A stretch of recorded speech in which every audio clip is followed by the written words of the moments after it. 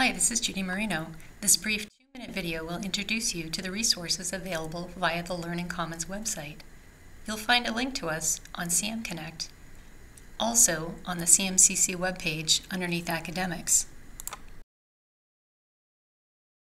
Once here, you'll notice a bunch of resources in the middle of the screen. These are a lot of the things that you would use to start your college level research here at CMCC. This first tab, called Books and More, will start you searching our catalog, Minerva. If we were to search here, you'd look through the 8,000 titles that we have on our shelves. If you didn't find what you needed here, you could always switch to all the Minerva locations at the top here and search the 60 libraries that comprise Minerva.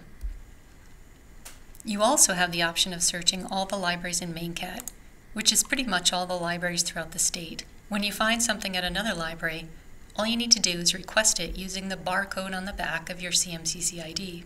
The item will be shipped here within a matter of days, you'll be notified via email, and you can pick up the items in the Learning Commons. ProQuest, EBSCO, and Gale are collections of databases, most commonly used to search for magazine and journal articles. To use these from home, you'll be asked for your CMCC ID number. CQ Researcher contains thousands of reports on current topics. This is often a good place to start your research or to get some ideas for paper topics.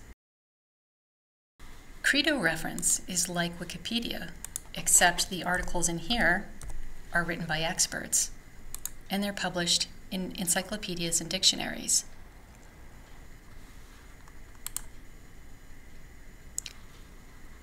The Digital Maine Library is a collection of resources made available to all Maine residents. It used to be called Marvel.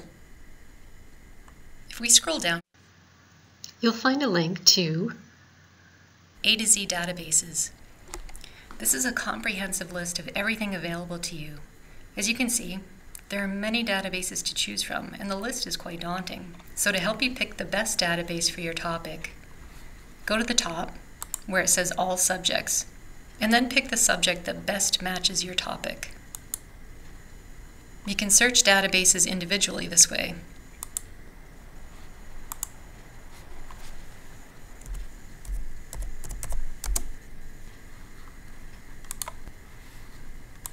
Another way to start your research would be to start searching either EBSCO or ProQuest, as they're comprehensive collections with many databases within each interface.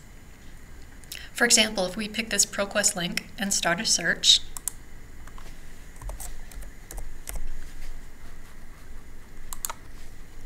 we'll be searching across over 30 of the databases listed on the A to Z list all at once.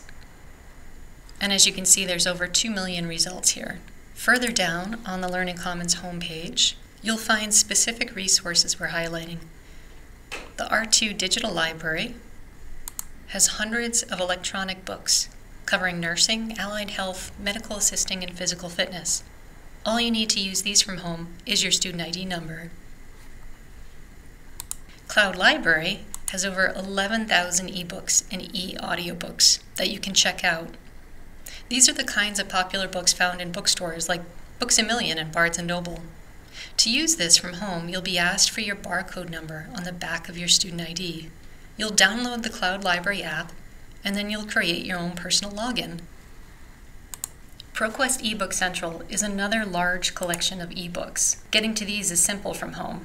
It's, again, your CMCC student ID number. The books in this collection are more academic and scholarly in nature than the ones found in Cloud Library. They would be another good place to start your research. Closer to the bottom of the page, you'll find this link to full digital access to the New York Times. To get started, sign up from a computer on campus with this link. You'll be asked to pick CMCC from the list of schools and provide your email address. Over here, on the scrolling menu, there's a link to Appointment Plus. This is where you can schedule tutoring in the math, science, or the writing centers. You can also find information about individual tutors here as well.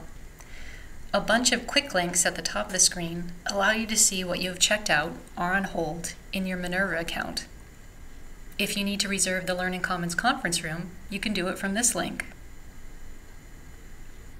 This is a link to library guides, which guide you to suggested resources for each subject or major you're studying.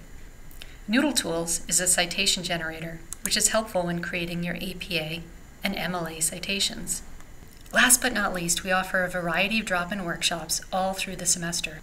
No sign-up is necessary, and if you come to one of them, you could learn anything from how to format your paper in APA style to navigating the Cloud Library collection.